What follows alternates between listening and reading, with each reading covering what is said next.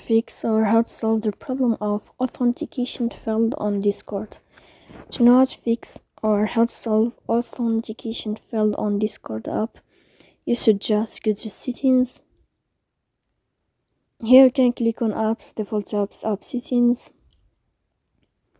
Then this list will enter to the window or to the app of Magic. Uh, sorry, not here. You will go to Discord app and you will enter to this window here you can click on force stop and you can click OK. Then you will enter to the window of storage. Here you can click clear cache. In the end, you can go to Play Store. You can search about Discord.